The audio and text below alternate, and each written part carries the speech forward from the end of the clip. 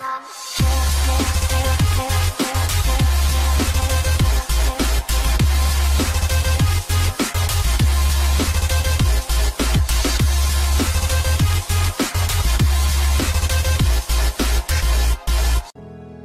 Hello tout le monde, j'espère que vous allez bien. C'est avec grand plaisir que je vous retrouve pour ce rendez-vous un peu particulier avec Zur cette semaine, puisque comme certains d'entre vous le savent, j'ai trouvé le moyen d'obtenir à l'avance des looks de Xur. Donc c'était le moyen pour moi de vérifier si ma source était bonne.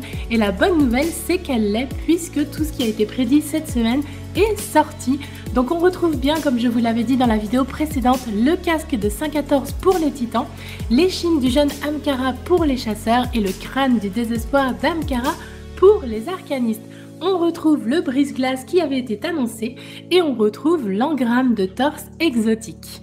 Donc ça c'est pour ce qui avait été prédit, y compris les fameuses munitions violettes que je vous recommande fortement de racheter dans le cas où Xur voudrait nous troller à nouveau et ne viendrait pas nous les proposer pendant plus d'un mois.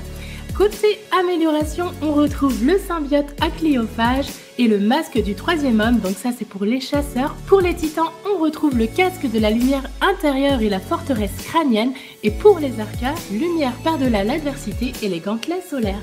Côté armes, on retrouve la Souros, la poupée vaudou, le Mida, le plan le maître du tonnerre et le Jalahorn. Côté rareté, on se retrouve avec les télémétries des fusils automatiques, des fusils à pompe et des lance-roquettes. Tout ceci pour vous dire qu'à l'avenir, je vais tenter de vous faire très régulièrement, minimum 2 ou 3 jours avant la sortie officielle de Xur, des vidéos qui vont vous annoncer le leak des items qui seront à vendre. Dans le cas où certaines personnes ne souhaiteraient pas se gâcher l'effet de surprise, je mettrai bien évidemment dans le titre Attention spoil bien en gros, comme ça il n'y aura pas de déception pour ceux qui veulent éviter d'être spoilés. Avant la fin de cette petite vidéo, je souhaitais vous présenter mes excuses car je suis encore malade, donc il est possible que la qualité de l'enregistrement audio soit un petit peu médiocre. Donc voilà, je suis vraiment désolée pour ça. J'espère que ça va passer assez rapidement quand même.